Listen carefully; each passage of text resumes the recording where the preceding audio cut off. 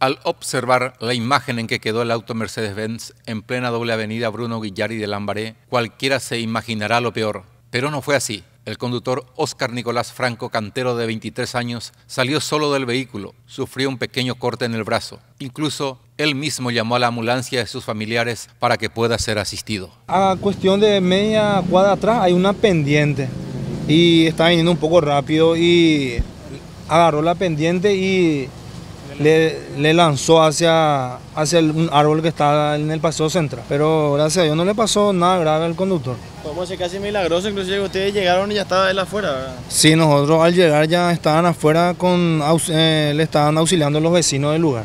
¿Usted no, lo vio grave No, nosotros no le vimos grave porque el, tipo estaba, nos habló, nos pasó todos sus datos y, e incluso él llamó a la ambulancia. Ah, él, mismo él, solo estaba, ¿verdad? Él solo estaba, sí, él solo. A ver, eh, ¿prueba de alcotés? Sí, se le va a realizar la prueba del cotejo una vez que se le haga los primeros auxilios. La primera impresión que tuvo usted al hablar con él. Y para mí que no, no, no te puedo decir que está o no está, pero la primera impresión que estaba lúcido, no, no, no estaba bajo ningún efecto. ¿De dónde venía? Él no dijo.